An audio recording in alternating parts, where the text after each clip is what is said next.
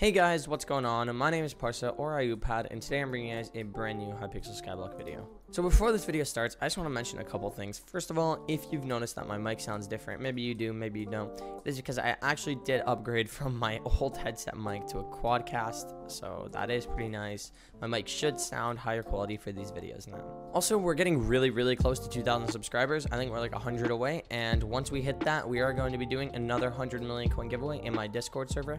So all you have to do to enter that is just enter my Discord server, go into giveaways, and react to the bot in the channel that says giveaway and uh, yeah that's basically it so anyway without further ado let's get right on with the video so normally while I'm streaming or even in my comment section, I always have people, mostly like early to mid game, asking me what gear they need for floor 7 and what they should buy to do floor 7. So I thought, well, why not just make an entire floor 7 gear guide video? So in this video, we're going to be going over all the gear for four classes in floor 7. We're not going to be talking about healer because let's be real here, who plays healer? But we're going to be talking about the tank, archer, berserker, and mage classes. And we're going to be splitting these up into three different categories. We're going to say early floor 7, which is about kata 28 to 32, mid floor 7, which is about kata 32 to 38, and then late floor 7, which is about kata 38 and above. Now, I won't really be giving like methods on money and stuff, and I won't really do too much of a budget, although I will put maybe some budgeting tips and stuff. But mostly, I'm just going to be talking about the gear that is appropriate for your kata level and what you're going to need.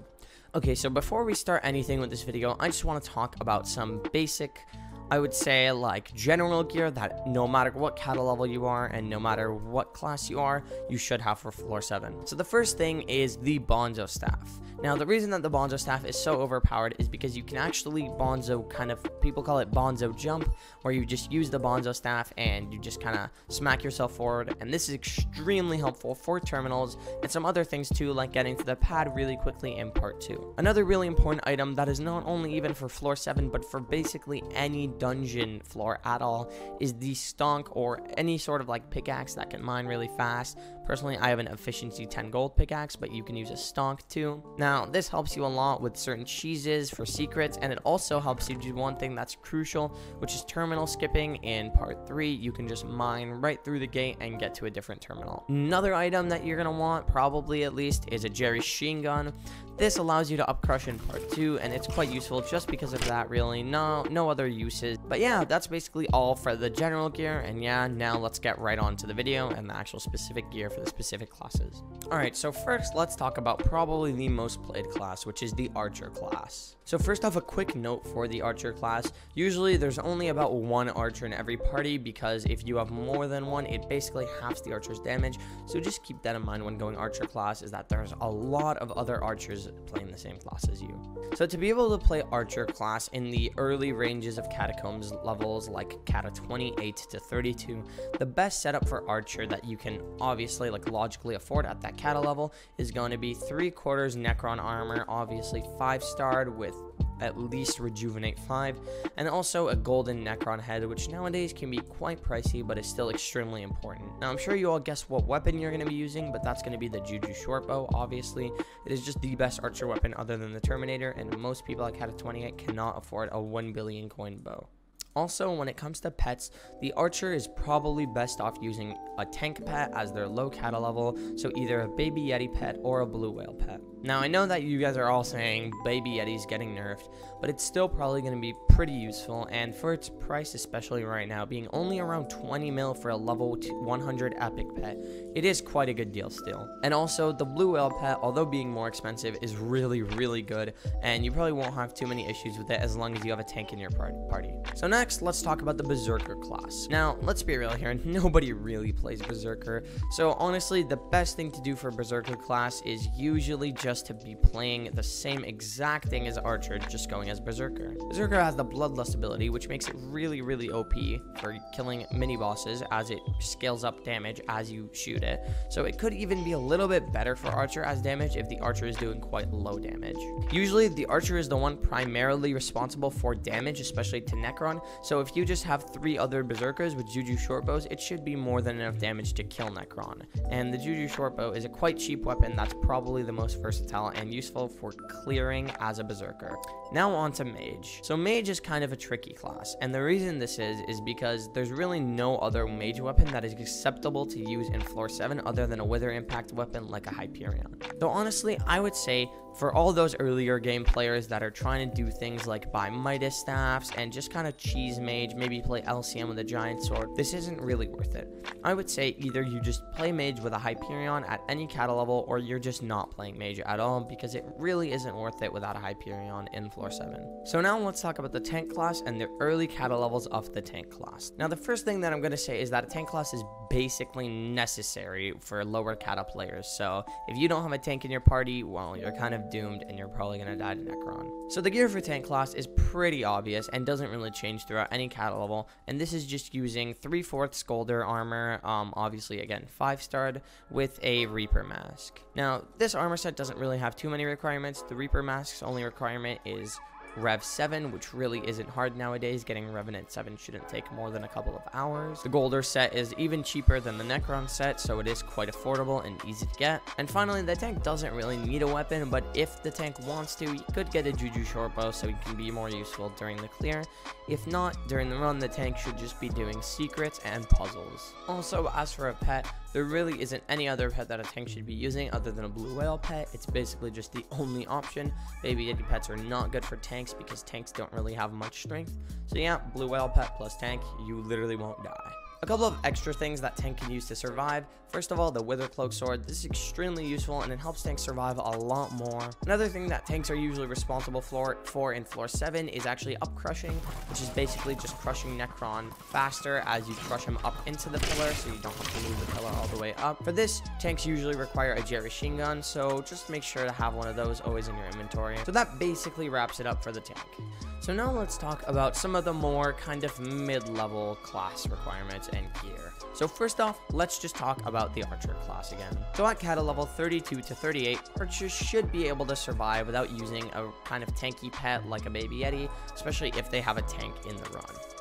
So the gear that I would recommend for this level of archer is basically the same gear as the last archer, but maybe with a pet like Wither Skeleton or even an Ender Dragon if you can afford it. Also, if you have the money, you should maybe upgrade to a Terminator, but I would honestly recommend that even if you're archer, you get a Hyperion before you get a Terminator as it just makes clears much, much faster. And a Terminator isn't really as good for floor 7 as a Hyperion is, as it just adds a lot of clear. Now, in the case that you do get a Hyperion, I wouldn't say you have to switch to mage. You can just clear with the Hyperion in the storm set, and then you can play archer like you normally do with your Juju short bow in the floor 7 run. That's basically it for the archer gear in this kata level. It hasn't changed much, just a couple of better gear items. So I know it sounds a little bland, but with Berserker, with this new kata level, I would say the mid kata level range, nothing really changes as last time. It's just the same thing that I just said for Archer. Really, you wouldn't really have many Berserker weapons of her own. Um, AOTS is something that you could use, the Axe of the Shredded, but I wouldn't really recommend it as most parties don't really need that type of crazy damage at that kata level. You could just kill Necron pretty, pretty easily, so for Berserker, literally just the same thing as I just recommended for the Archer class. Okay, so now let's talk about the Mage class. So first of all, with the Mage class, now at this kata level, um, you probably could afford a Hyperion. So I would say Mage classes are going to become a lot more prominent and uh, more clear to see, and Kata 32 ranges. So what you're going to need for a mage is probably a full storm set because you're going to need mana, your low Kata. Now, if you're in the higher Kata range of this, maybe Kata 35, 36, you could use a Maxor set and it gives you a lot of speed and still probably will give you enough mana. Now, in the actual run, obviously you're going to use your Hyperion to clear and to do all the damage, but if you are having trouble with mana, you should probably be using a sheep pet. If you aren't having trouble with mana and you want a lot of speed, you should use a black cat pet with a dwarf turtle shell Shelmet basically throughout the whole run because again it gives you a lot of speed. That's basically it for the mages at this level. Um, not much to talk about just hyperion is basically the gear upgrade just hyperion and a storm set and either a sheep pet or a black cat pet for speed Okay, so now let's talk about the tank class in the mid cata ranges. Now, the tank class is probably the class that will change quite a lot in these ranges, and this is because the tank can't really be useless anymore and um, do nothing in the run. Tank usually needs to clear. So I'm sure people know that uh, the Astraea is the weapon for the tank, and I would kind of recommend the Astraea just so you could survive a little bit easier as a tank as it gives a lot of defense, but also because it's really useful in the clear. Now, if you can't afford an Astraea, that's okay. Um, as I said before, a Juju Shortbow is really good for clearing, but at this point, I would also recommend getting a second set of Wither Armor, which is the Necron set, so you can actually clear and do damage, and actually pretty much be useful and clear like an Archer or a Berserker in the run, and then swap to your tank gear in the boss fight so you can tank the boss. So basically, your two options here are to, are to play Mage as a tank in the run, or to play Archer as a tank in the run, and then in the end of the boss fight, you just swap over to your tank gear and you tank like you normally do. The tank gear doesn't really change from the last um, tank gear that I mentioned for the lower cata levels. Um, it's basically the same and it will stay the same. Alright, so now let's talk about the later game. Um, so this is basically, I would say, from like cata 38 and above. So here's the gear that you're going to need. So first of all, for late game Archer. Now, I would definitely recommend having a Terminator at this point. If you're a Cat of 38 and you don't have a Terminator, you're basically useless, so you shouldn't have a Juju at this point. You should have a Terminator. Also, for clearing the dungeon, I would recommend having a Hyperion because it's just super useful and it is better than Terminator for actually clearing, and then you just swamp over to your Archer gear in the boss fight. Now, a Diamond Necron Hunt at this point would be quite acceptable too to do way more damage as the Archer, and an Ender Dragon Pet or even a Golden Dragon Pet is pretty necessary. Not necessary, obviously, but it boosts boosts your damage a lot, and at this stage of the game, you should be getting one of these. So now for the Berserker class, I know this is disappointing, but literally it's just the same thing that I said for Archer. Berserker and Archer are basically just the same class. Berserker is just the little replacement when there's already an Archer in the party. So for playing Berserker in this cata level, same thing as I just said for Archer. So now let's talk about mages. So mages are quite interesting because usually high level mages don't really change much. They just use a Maxor set and they just use a Hyperion and that's basically it. However, if you want at a higher cata level now, you could actually play left click mage. Now the way that left click mage works is you just rely on doing insane damage with your mage beams. However, this isn't really useful with a Hyperion, but it is extremely useful with a one for all giant sword. Now, I'm not sure how this is going to work out in the future because One For All, as many of you know, is becoming additive instead of being base. So basically, the gear that you would use for this is just obviously a giant sword, and you would really only bring this out for mini bosses and in the dungeon, uh, in the actual boss fight room. So when you're killing Necron, you would just left click mage it, and you should also have an ancient storm set for this as it boosts your damage a lot. So you should probably have a Maxor set for the clear with your Hyperion and then an ancient storm set so you can do insane damage in the boss fight to Necron with your giant sword. Also, the best pet for this isn't a sheep or anything, it is an ender dragon pet, so you're also going to want that so you can do the most damage you can in the boss fight room. And now finally, for the late game tank, I would basically recommend the exact same gear except not a Juju short bow anymore. If you're playing tank at a later level, you should be having a Hyperion or at least an Astraea or whatever, some sort of weapon to be able to clear with, so any sort of Wither Blade, so that you can clear the dungeon and then you don't even necessarily need to swap to Goldor set during the boss. You could probably tank it in a good Necron set with a Blue Whale pet or, you know, obviously you could just swap to a good Goldor set and you can use your Blue Whale pet, of course, to tank it.